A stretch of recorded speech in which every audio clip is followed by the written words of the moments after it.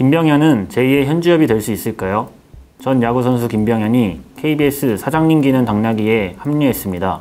국내 최고 인기 스포츠인 프로야구가 각종 악재가 겹치며 위기를 맞은 가운데 그의 등판이 떠나간 야구 팬들의 마음을 돌려 세울 수 있을지 주목됩니다. 지난 29일 방송된 당나귀 기에서는 전 메이저리그 김병현이 새로운 보스로 등장했습니다.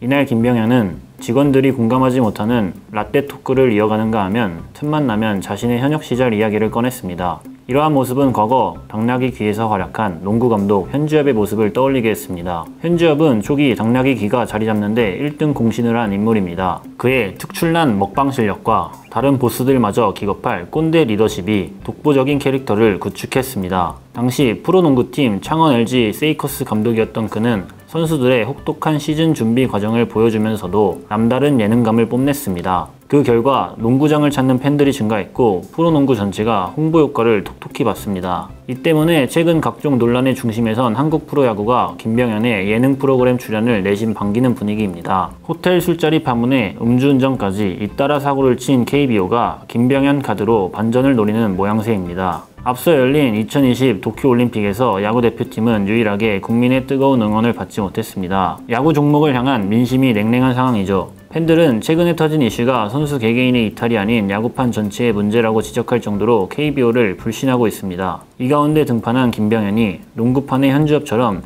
프로야구 부활에 신호탄을 쏘아 올릴 수 있을지 기대를 모읍니다. 다음 이 시간에도 예능기아 이슈를 낱낱이 파헤쳐 드리겠습니다. 정태건의 오예